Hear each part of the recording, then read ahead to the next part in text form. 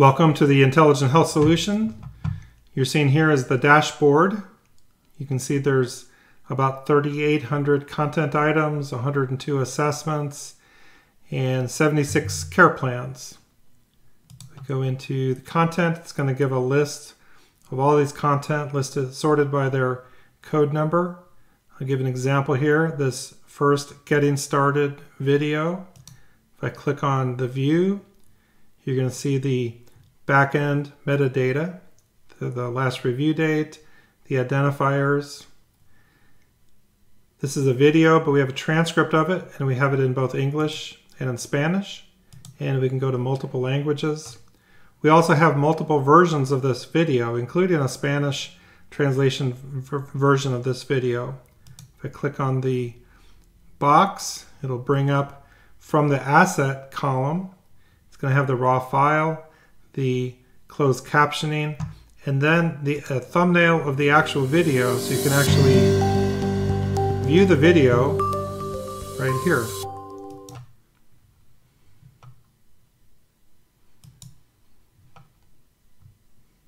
And then also over here you have the tagging data, the category, the coaching strategy, and the care plan that is associated with the content item. We can also go back up. There's other filters. You can do a full text filter if you're looking for a specific uh, word or item.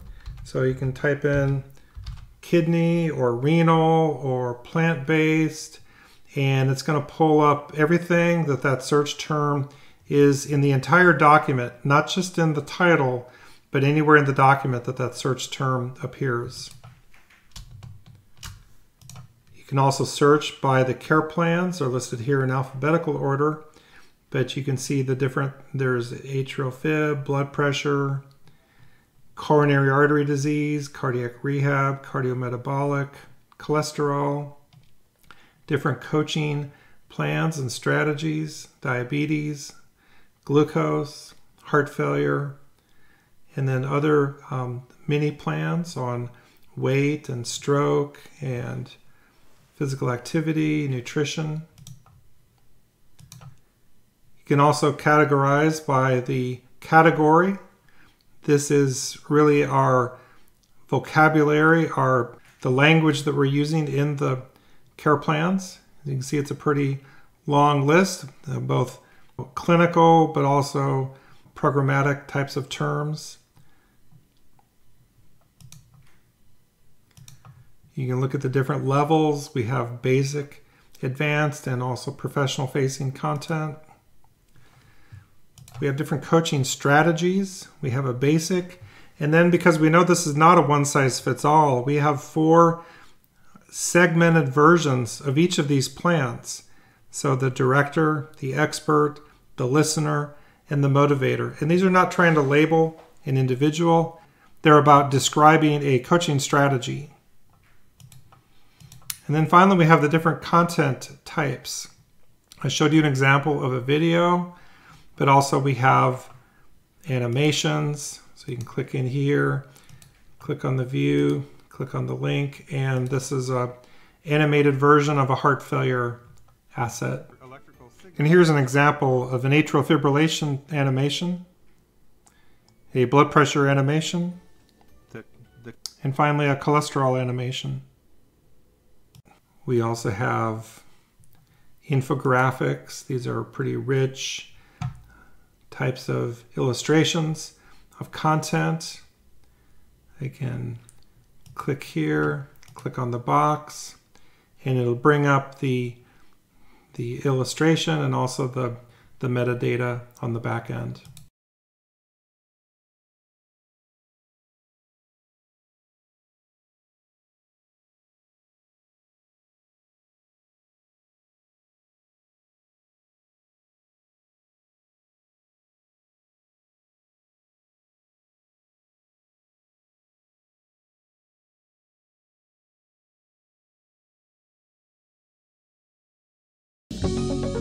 The American Heart Association's checklist to measure cardiovascular health has been updated to include healthy sleep, and is now called Life's Essential 8. Research shows that healthy sleep is essential for optimal heart and brain health. Life's Essential 8 is made up of these measures and behaviors diet, physical activity, nicotine exposure, sleep, weight, blood cholesterol, blood sugar, and blood pressure.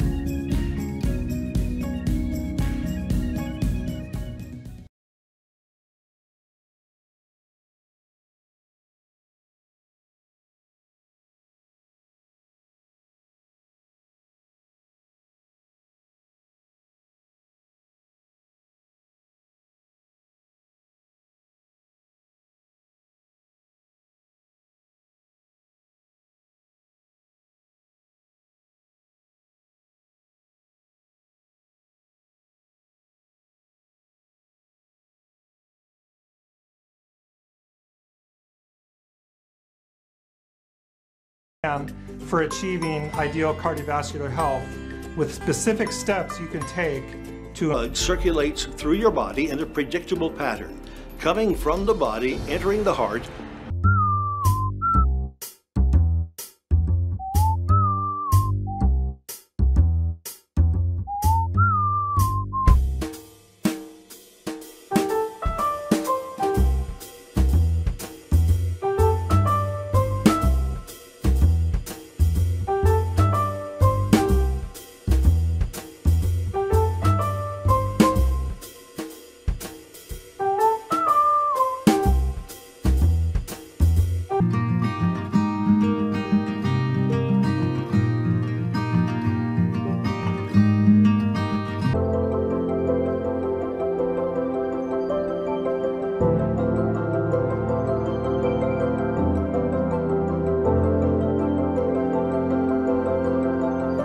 Another big category of content are messages.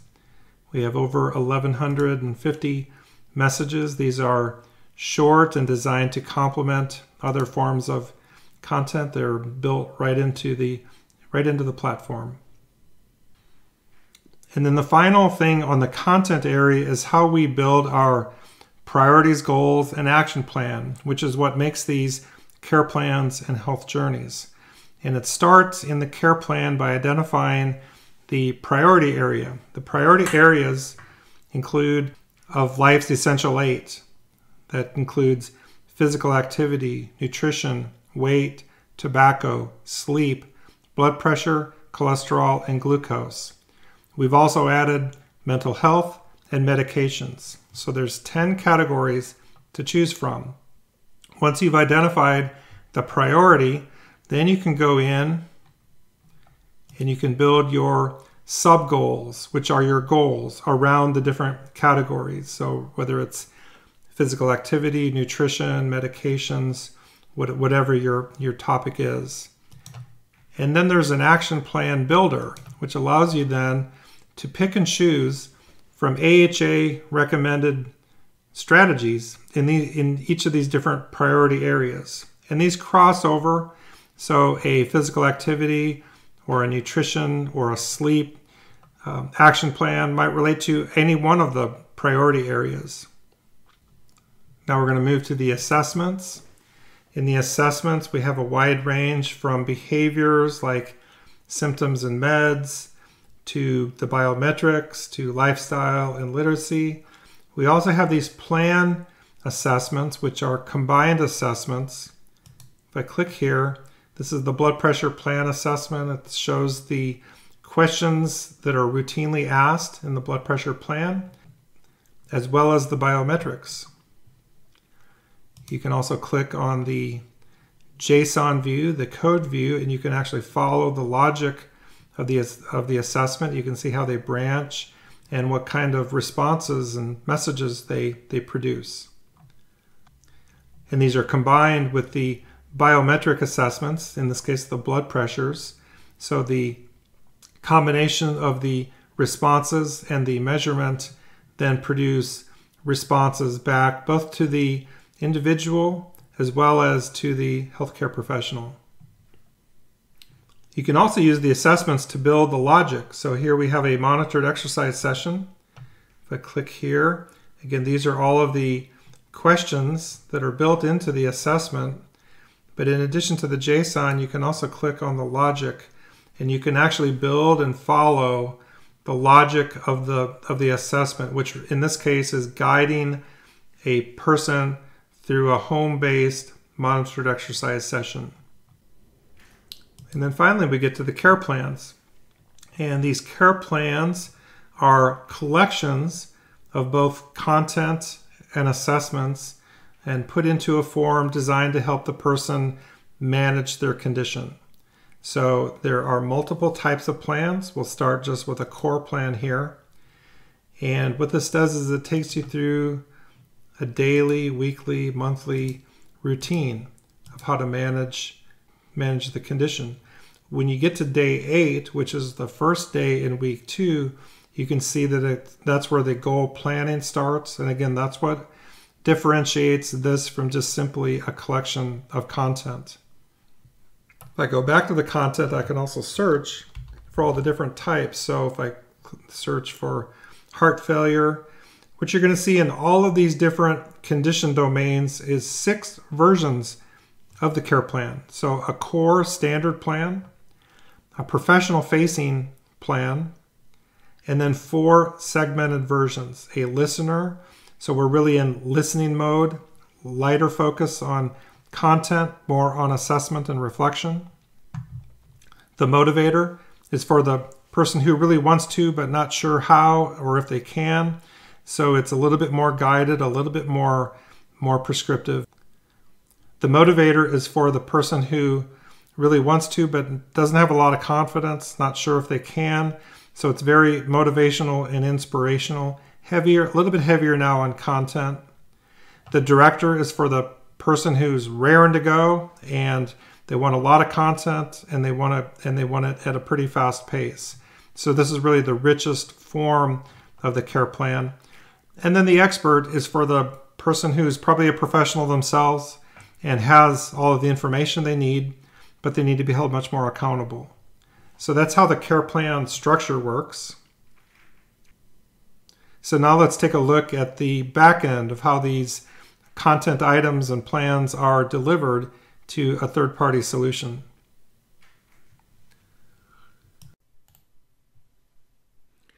The care plan system allows third-party access to American Heart Association content and programs in a secured way using token-based authentication.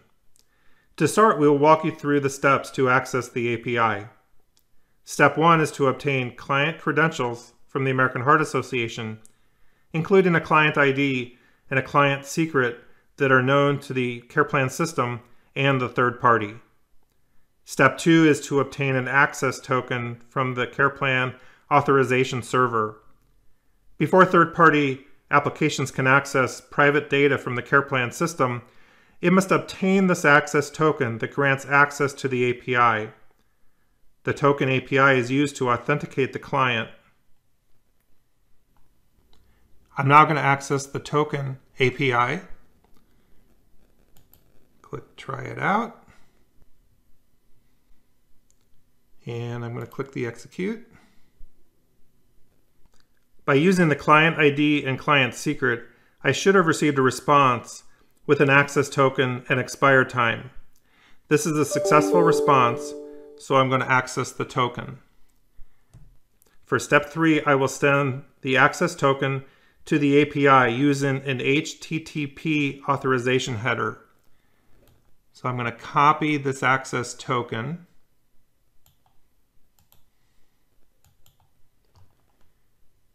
I'm going to go up to the authorize button.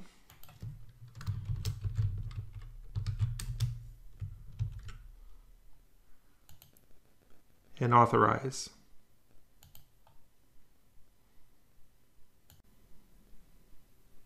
Now, as a third party vendor, I have access to the content and program APIs. I'm going to click List All Existing Care Plans, select Try It Out, and execute. And when I do that, it'll show all of the existing care plans in the system. Next, I'm going to enroll a participant in a care plan. So I've already entered the, uh, the unique information. I'll click execute. And you can see I now have a, an enrolled unique participant. Take note, I have ID number 16 here. This person is in the high blood pressure care plan. I'm going to use this ID number in subsequent demos.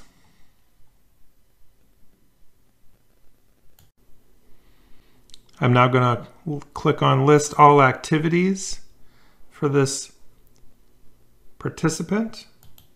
Click the try it out button and put in ID number 16 and execute. And now you can see this person has an assessment pending. Have you taken your medications as prescribed? And it also has a message. I'm now going to go into those activity details. Click try it out. Enter my participant. That message was code 10,000. And when I pull that up, I can see I have the metadata behind here for the message. So it's message 10,000 and it's a welcome message and I have it in both English and in Spanish. And finally, I'm going to go to assessments. I'm going to do the same thing. And I'm going to go into the details of that assessment. Enrollment ID 16, assessment ID 2001. And we have the have you taken your medications as prescribed? That's triggered by a yes and a no response. The yes, great, continue to take your medications as prescribed. The no response triggers please indicate why you're not taking your medications. And then it has follow up branches to that. Um, I'm experiencing a side effect, my prescription ran out, I can't afford my medications. So that's a brief overview of how the back end to the Content and Care Plan API system works.